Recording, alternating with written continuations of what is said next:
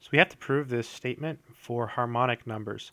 So here h sub m is called the mth harmonic number. So it's equal to this sum here. So for example, h sub 1 would be equal to 1, h sub 2 would be equal to 1 plus 1 half, etc. So to prove this, we'll use mathematical induction, so proof. Before we start the proof, let's identify what our statement is. This entire thing here, this will be s sub n. And we have to show that this is true for every positive integer n. So the first step is the base case. And since we're proving this is true for every positive integer, we'll start with the smallest one, which is 1. So we're going to replace all of the n's with 1's and see if our statement is true. So the left-hand side, when n is equal to 1, is the sum as j runs from 1 to 1 of h sub j. This means we plug in 1, so we get h sub 1, and h sub 1 is equal to 1. The right-hand side, well, we just replace all of the n's with 1's on the right-hand side. So this is 1 plus 1 times h sub 1 minus 1. So 1 plus 1 is 2. The first harmonic number we know is 1. Then minus 1. So 2 minus 1 is 1. So the left-hand side is the same as the right-hand side. So our statement is true when n is equal to 1. So s sub 1 is in fact true. The next step is the induction hypothesis. Induction hypothesis. This is the step where we suppose that our statement is true for some positive integer k. So suppose our statement is true when n is equal to k. So we're just going to replace all of the n's in our original formula with k. So we have the sum as j runs from 1 to k, h sub j equals k plus 1 h sub k minus k. And we're, we're assuming that this is true for some positive integer k.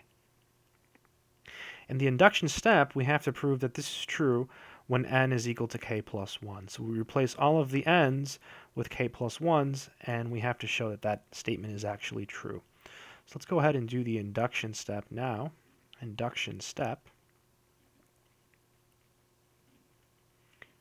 In order to do the induction step, it helps to write down what you're trying to prove so that we can kind of figure it out. So claim that the statement is true when n is equal to k plus 1. So we claim that if we, place, if we replace all of the n's with k plus 1's, that our statement is in fact true. So replacing all of these k's, since we can't see the n's, I'll just replace the k's. k plus 1 plus 1, h sub k plus 1 minus k plus 1. This is what we have to prove. Now, 1 plus 1 is 2, so let's go ahead and rewrite this as k plus 2, h sub k plus 1 minus k plus 1. So this is what we have to show. We just replaced all of these k's with, with k plus 1. So we got k plus 1, k plus 1, k plus 1, k plus 1. And then 1 plus 1 was 2, so we combine them. All right, here's where it gets tricky. So we'll start by writing down the left-hand side, and we'll show it's equal to the right-hand side. So note, well, we have the sum as j runs from 1 to k plus 1 of h sub j. Now we somehow have to use our induction hypothesis up here. So let's write this as a sum from 1 to k. So this is the sum from 1 to k of h sub j. But then we're missing the last term. So plus h sub k plus 1 right? These are exactly the same thing. Here we just added them all up from 1 to k plus 1 in a single step. Here we add them up from 1 to k, and then add the last term, the k plus 1th term. Now we can use the induction hypothesis because we know that this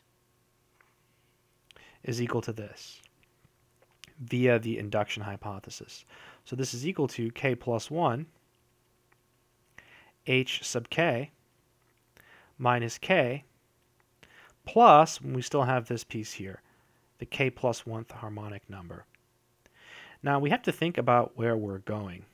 We're trying to get to this over here.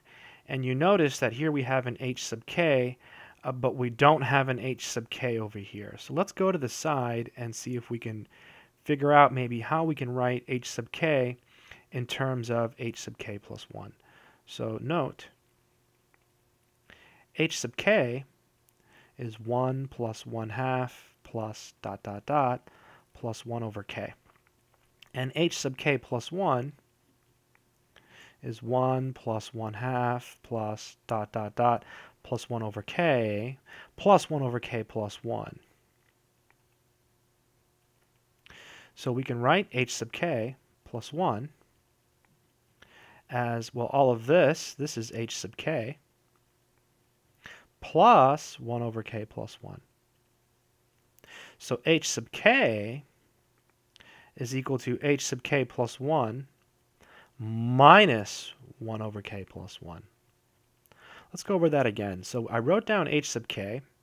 I wrote down h sub k plus 1. And the goal is to somehow combine them and write them together so that we can eliminate this h sub k. Well, you'll notice that h sub k plus 1 is really all of these guys plus 1 over k plus 1. But all of these guys, this is just h sub k. Then you subtract 1 over k plus 1 from both sides, and you get this equation here. So let's go ahead and rewrite what we have using that equation. So continuing, this is equal to k plus 1 and we know something about h sub k. It's h sub k plus 1 minus 1 over k plus 1. So it's h sub k plus 1 minus 1 over k plus 1. And this is minus k, and this is plus h sub k plus 1.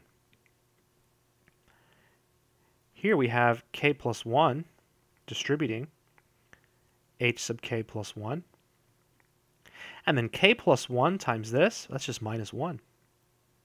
Then we have minus k, and then here we still have this plus h sub k plus 1. This is equal to, well, we have k plus 1 h sub k plus 1 plus 1 h sub k plus 1. That gives us k plus 2 h sub k plus 1s. And this is minus k plus 1, factoring out the minus sign. And that's exactly what we want. Now, if this step uh, of getting this was too much, you can go to the side and, and grind it out. k plus 1, h sub k plus 1, and we combine that with, with this one here, so plus h sub k plus 1. This is k and then the h, and then the h, it's being multiplied by 1, and then the other h. It's a lot of h sub k plus 1s. this is k h sub k plus 1. And you have two of these. So plus 2 h sub k plus 1. And then you can factor out the h sub k plus 1. I said, did I, did I do all this in my head? Absolutely not. I thought of it this way. You have k plus 1 of these, and then you have one of them. So k plus 1 plus 1 is k plus 2. This is exactly what we had to show, so S sub k plus 1 is true.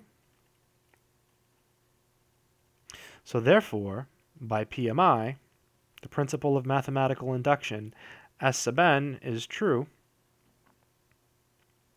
for every positive integer n. I hope this helps someone out there.